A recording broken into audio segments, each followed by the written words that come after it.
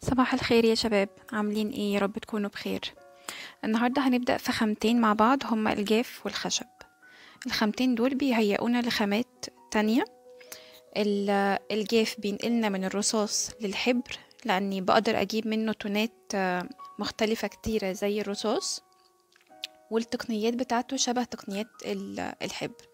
والخشب بتنقلنا للسوفت باستل لأن هما الاتنين عبارة عن أكاسيد لون مع صمغ والاتنين برضو إحنا بنعتمد فيهم إن إحنا بنكون الألوان نفسها على اللوحة.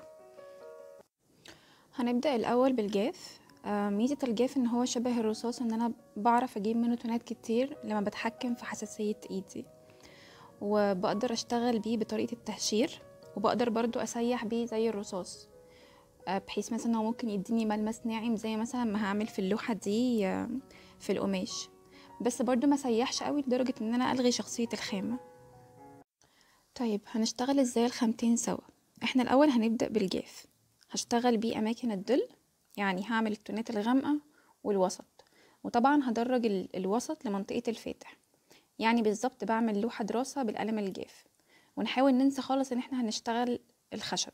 وناخد وقتنا جدا في مرحلة الجاف. وبعد ما تخلص بشتغل الفواتح أو لساعات الإضاءة بالألوان الخشب. كده أنا بدأت أعمل ال outline بتاعي.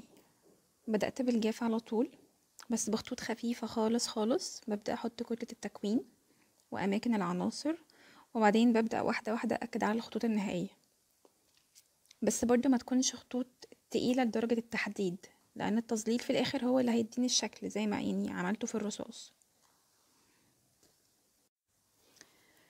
آه، حاجة مهمة بقى وإحنا شغالين إن إحنا يكون جنبينا دايما أو ماسكين في إيدينا منديل. علشان دايما نمسح ال- القلم في المنديل ده مثلا كل عشر ثواني مثلا ولا حاجة علشان ال- الحبر اللي بيتجمع في. في آخر القلم ممكن فجأة يقوم سايب لك نقطة سوداء على على اللوحة. فكل شوية لازم نمسح ال- القلم آه، ممكن في الأول تنسوا كده بس بعد كده هتلاقوها خلاص بقت عادة وانتوا شغالين يعني. وكل ما كانت جودة القلم حلوة كل ما كان الموضوع ده أقل كتير. أنا ممكن أقول لكم على ال أو أسيب لكم صورة القلم حتى اللي أنا شغالة بيه. أنا بحب أشتغل بقلم يوني بان أم، عريض شوية مش رفيع. هسيب لكم صورته مثلا في comment أو حاجة. القلم البيك كمان كويس والستادلر كمان كويس.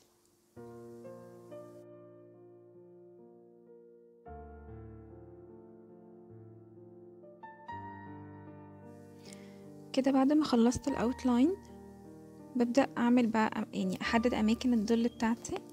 وأبدأ أعمل التحضير. التحضير بيكون زي برضه بنشتغل بالقلم الرصاص عادي. زاوية خمسة وأربعين درجة وأبدأ أجيب أخف تون ممكن أجيبه من القلم.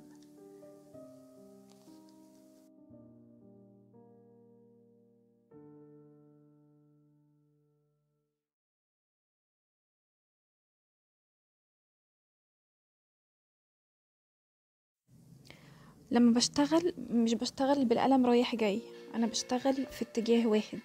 يعني هي يمكن تكون الحركة تبان سريعة حتى لو مش مسرعة الفيديو بس أنا ما بين كل خط والتاني أنا إيدي بتترفع يعني. بس مش بنشوفها يعني اللي بيتفرج ممكن ما يشوفهاش. بس هو المفروض إن أنت إيدك بتترفع بالقلم وبعدين بتبدأ تحط باقي الخطوط.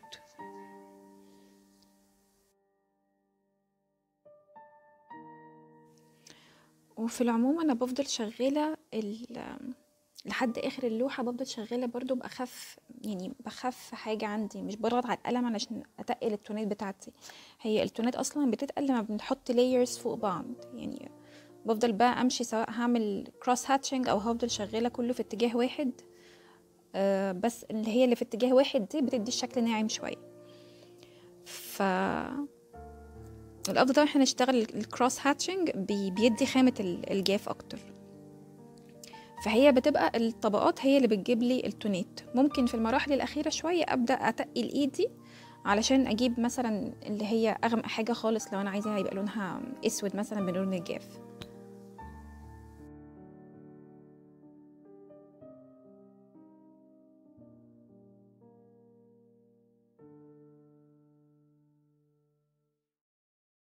حاجة مهمة كمان في الخامات هي آه، لون الورقة ونوعها آه، هنا أنا اشتغلت على ورق فبريانو على الناحية الناعمة منه.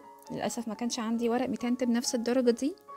والناحية الناعمة دي للأسف العيب بتاعها إن هي ما بتقبلش طبقات كتيرة ما فيهاش مسامات تقريبا يعني. ف أنتوا يعني أنتوا اشتغلوا على ورق ميتنت هيكون أحسن لكم.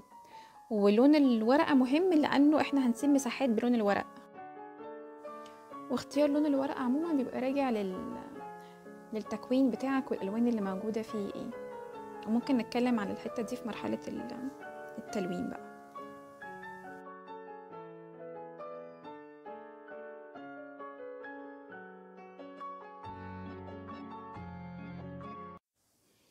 كده أنا دخلت في مرحلة الدراسة. ببدأ بقى أركز في التونات اللي موجودة قدامي. مينلي هركز على التونات اللي هي الغامقة وال... والوسط. يعني عادة بنبدأ الأول بالأماكن اللي هي الغامقة جدا وأبدأ أشتغل فيها. علشان ما أشتغلش في أماكن مثلا اللي هي ال- التونز اللي هي الوسط وأرجع بعد كده أكتشف مثلا إن هي غمقت مني بزيادة. فلا أنا ببدأ بال بالمناطق الغامقة جدا وبعد كده منها ببدأ أدرج ال tone على أفتح في منطقة الوسط الوسط على أفتح خالص لمنطقة ال- الفاتح. أنا حاولت أعمل لكم zoom شوية علشان تحاولوا تشوفوا الخطوط وأنا شغالة. هو بس هيفضل يزوم in ويزوم out كده شوية بعد كده ال- الصورة هتظبط يعني.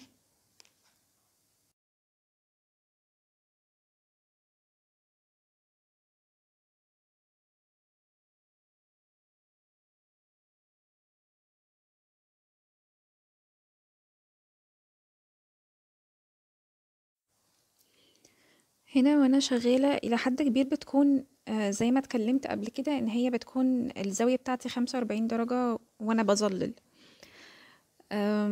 بس ممكن تلاقوني بعد كده مثلا بشتغل حسب اتجاه مثلا ال- الحاجة. يعني في التفاحة بدأت أعمل زي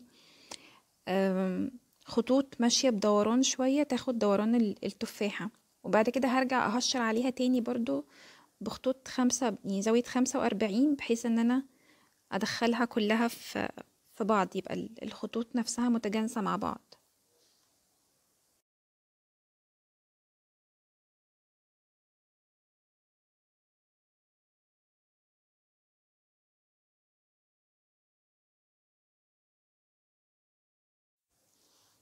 هنا مثلا بدأت أفرق التونات ال- الغامقة اللي موجودة أصلا في الغامق يعني هتلاقوا برضو إن الغامق فيه كذا درجة من. من الغوامق فراعوا ده وركزوا فيه وانتوا شغالين. وافصلوهم برضو. يعني هنا مثلا الغامق اللي هو بتاع ال- القلة فيه آه درجتين. فبفصلها بخط خفيف جدا وأبدأ أشتغل وأعمل التهشير بتاعي وأحط طبقات فوق بعض. هي كلها طبقات بس كلها طبقات خفيفة. بتشتغل خفيف والطبقات هي اللي بتتقل التون. ممكن في الآخر خالص نلاقي نفسنا بنضغط سنة على القلم عشان نجيب منه تونات أتقل بس بنكون خلاص متأكدين إن هنا أتقل تون. بس طول ما إحنا شغالين هي عبارة عن طبقات الطبقات دي هي اللي إيه؟ بتتقل التونات بتاعتي.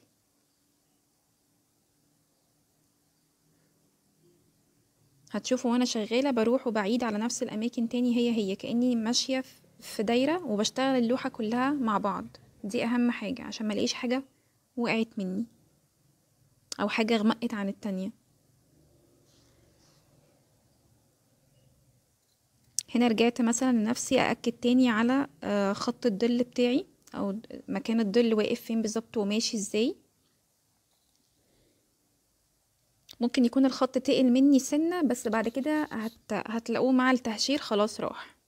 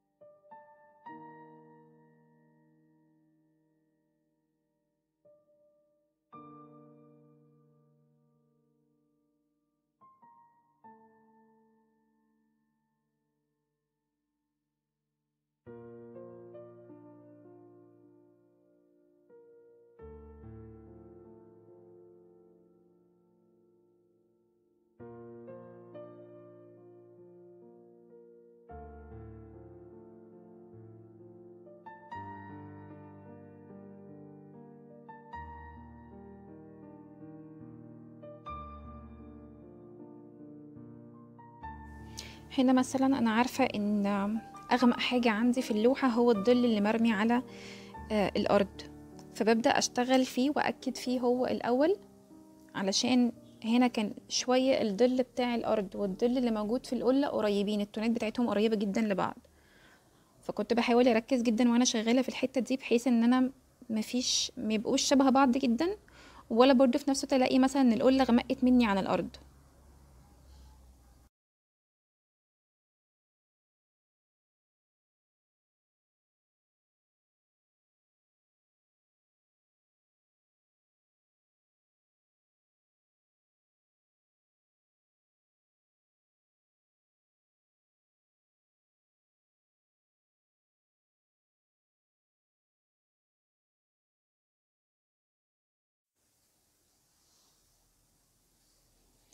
هنا مثلا ال- الفواتح اللي هي الفواصل الفواتح اللي موجودة في القلة زي الدواير والخطوط اللي هي بيبقى لونها أبيض أو على بيج كده شوية.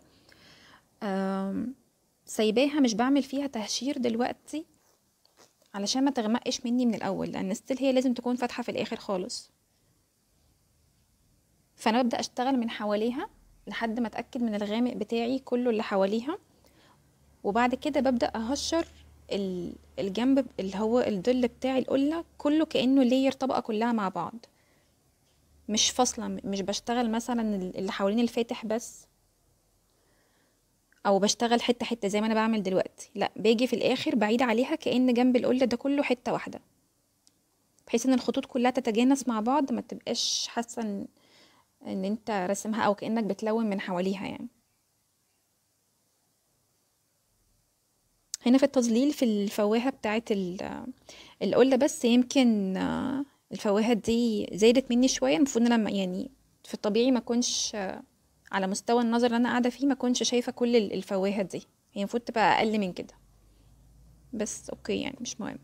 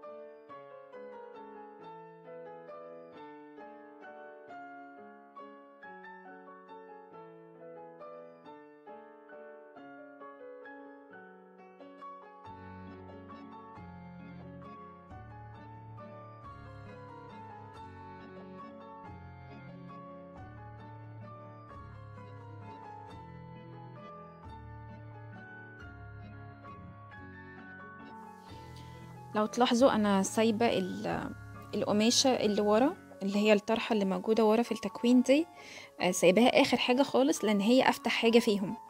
فمش عايزة أشتغل فيها علشان يعني يا دوب حاطة فيها أماكن الظل بس وأماكن كسرات القماشة والكلام ده. وبشتغل من حواليها عشان أبرزها الأول عشان أتأكد إن هي لو اشتغلت فيها بعد كده ما تغمقش مني زيادة لأن هي فاتحة جدا.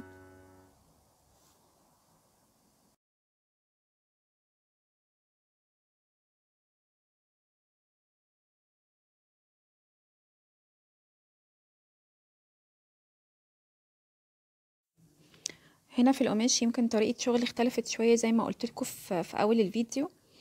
أم، ماشية شوية بطريقة اللي هي ال- التسييح. أم، بس مش للدرجة بس بعمل خطوط كلها ناعمة وإلى حد كبير بتكون كلها في اتجاه واحد. يعني ما بمشيش أعمل بعد كده كروس هاتشنج عليها زي مثلا ما عملت في الخلفية أو في القلة أو في التفاحة مثلا. بحاول إلى حد كبير أمشي مع اتجاه كسرة ال- القماش نفسه.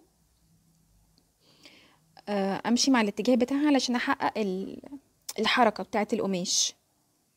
بس ده مش شرط يعني حتى لو أنت مشيت cross hatching بزاوية خمسة وأربعين على layer تانية خمسة وأربعين وهكذا م، هتعرف برضو تجيب نفس الكسرات. هي دي بس يعني طريقة أنا بحب أعملها لكن مش شرط تمشي مع direction الحاجة يعني.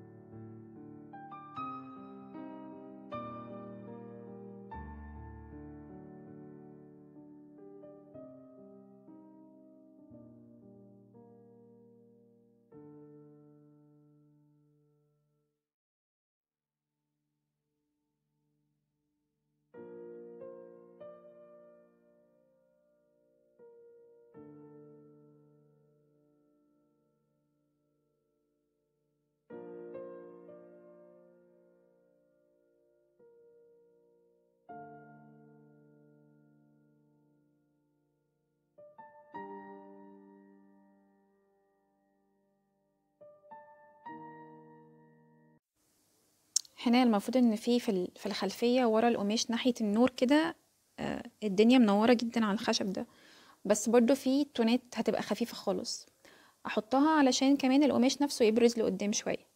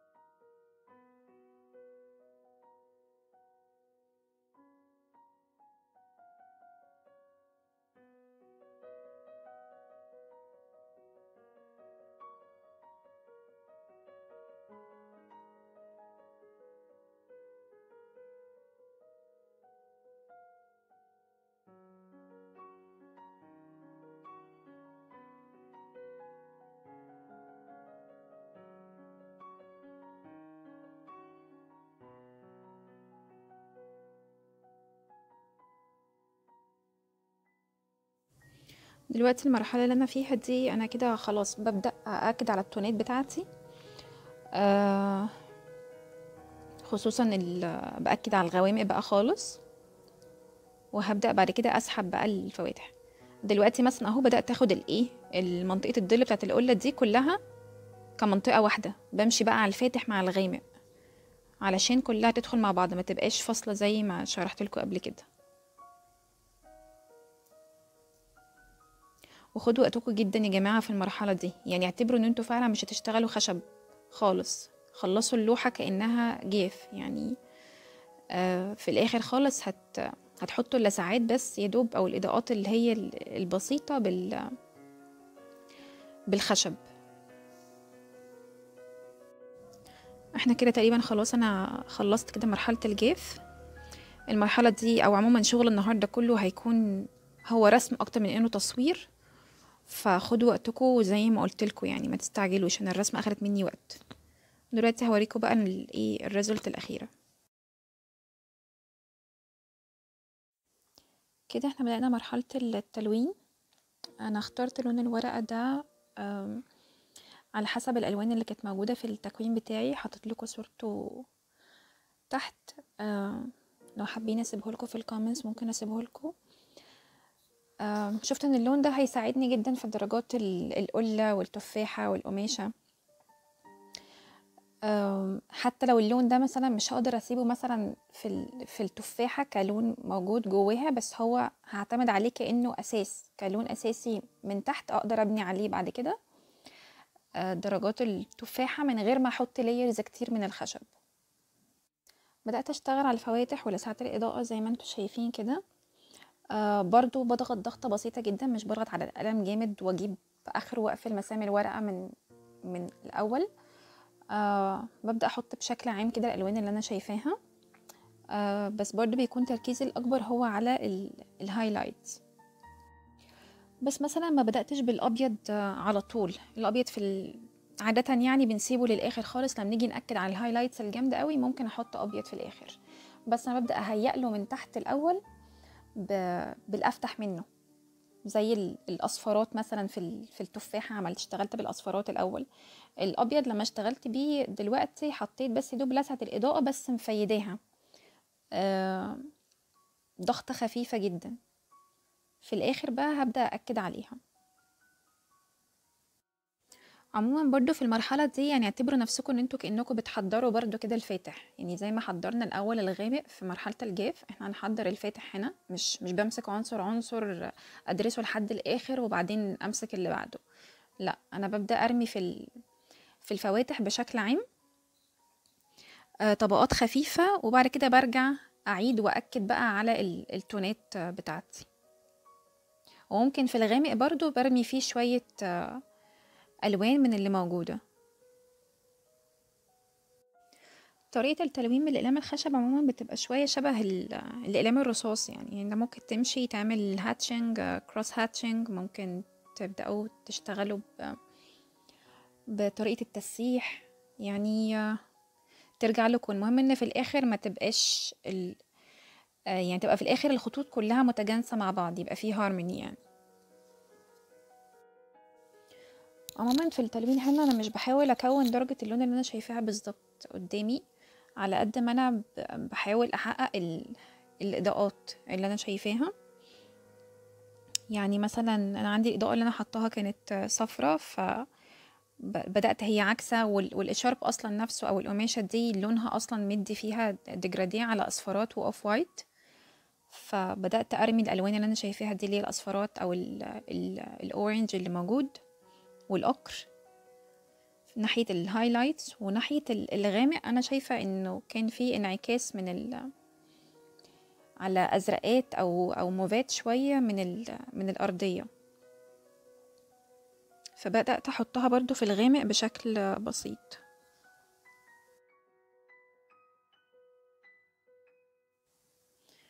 بعدين يعني هتلاقوا نفسكم بتشتغلوا المرحلتين مع بعض تشتغلوا في الغامق والفاتح سوا. عشان الاتنين بيظهروا بعض.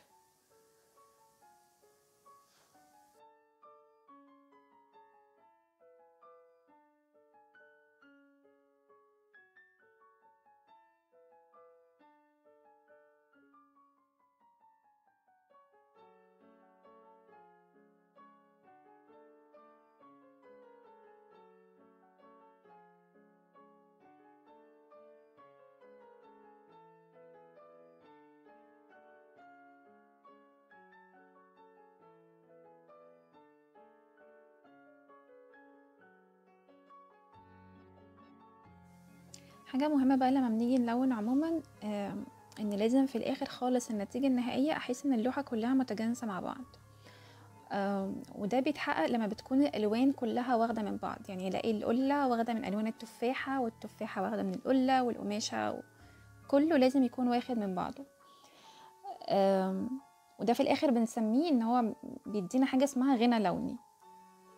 يعني مثلا زي ما أنا عملت مثلا في في التفاحة في البداية بدأت أرمي شوية من الالوان الأرضية اللي موجودة. وبعدها هبدأ بدأت برضو رميت فيها شوية من ال من الأورنج اللي موجود في أو اللون الطوبي اللي موجود شوية في القلة. وكذلك عملت في القماش في الظل ناحية الظل. والإضاءات برضو اللي أنا عملتها اللي هي عكسة من من القلة وعكسة من الإضاءة نفسها.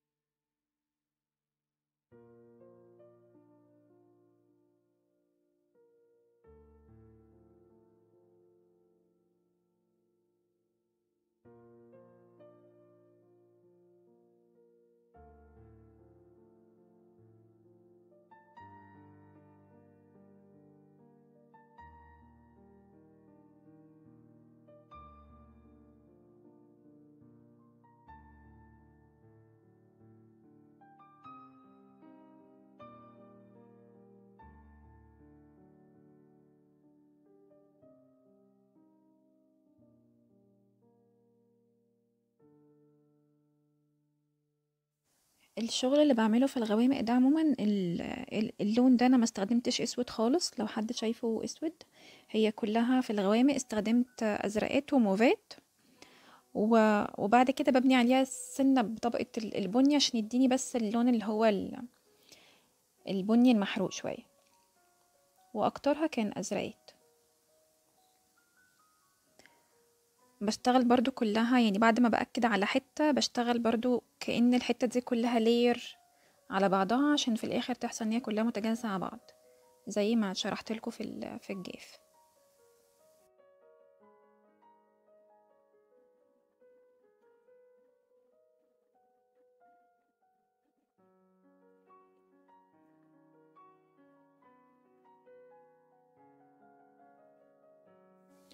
هنا كده بدأت أحط الإضاءات اللي موجودة في القلة عشان أبرزها أكتر فبالتالي الغامق كمان بيبان أكتر بتاعها. بتبدأ بقى تاخد ال form تتجسم زيادة. وما اتكتش قوي على فكرة في في ال highlight اللي حاططها هو لون الورقة مساعد جدا. هي بس مش مش باينة هنا.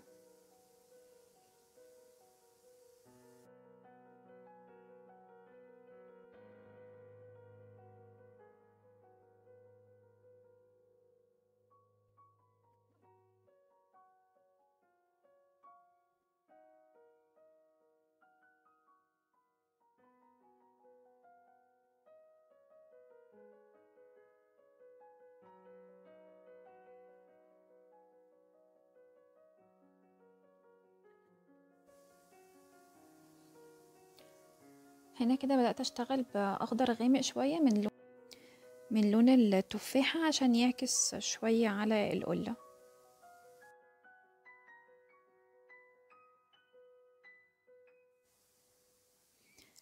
هنا كده اللون اللي كان تحت في القلة ده ما كانش لون أبيض هو كان لون بيج خفيف وبرده سايبة منه من مساحة الورقة من لون الورقة يعني كنت سايباه. وبعد كده بدأت أشتغل عليه بالأبيض بحيث إن هو يديني بقى الإضاءة اللي هي القوية اللي ظاهرة في القلة وهو اللون نفسه أصلا كان على أبيض شوية. ممكن تراجعوه أو تشوفوه في الصورة برضو. بعدين بدأت أشتغل على الخلفية اللي ورا الغامقة. حطيت فيها موفات ومبيتي شوية. أو محمر اللي هو الطوبي من من ألوان القلة.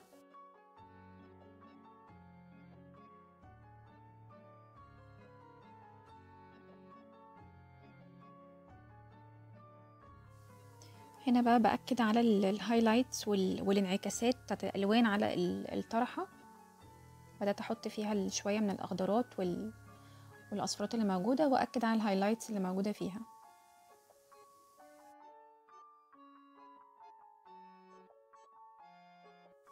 والخلفية هنا برضو بدأت أرمي فيها ال ال الألوان اللي هي المنعكسة برضو من من اللي حواليها اللي هي المنورة. هنا كنت بأكد بس على الانعكاسات اللي موجودة في في القماشة في الناحية دي. هي الناحية دي ما كانتش واخدة لسعات إضاءة زي اللي موجودة جنب القلة. فشوية كان مردود فيها انعكاسات غوامق شوية من القلة والتفاحة. وبعدين بدأت أشتغل على الأرضية. أنا مش عايزة أكون لون لونها المظبوط اللي في الصورة. أنا مجرد عايزة بس الضي بتاع اللون اللي موجود.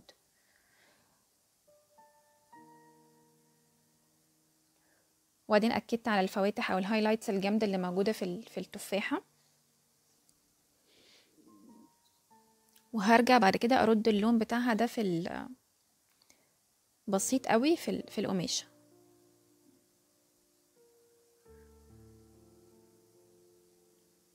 وأكد على اللون الأزرق بتاع الأرض وأرده في التفاحة وخلاص كده.